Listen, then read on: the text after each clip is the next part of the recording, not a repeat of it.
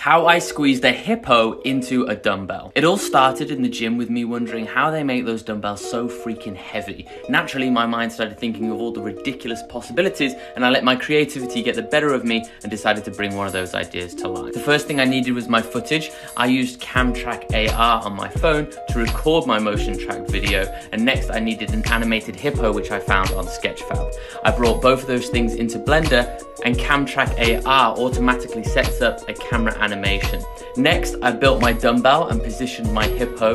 To create the pool, I used fluid physics and turned the dumbbell and the hippo into a collider. This took ages to get the right amount of water and to get everything acting as it should.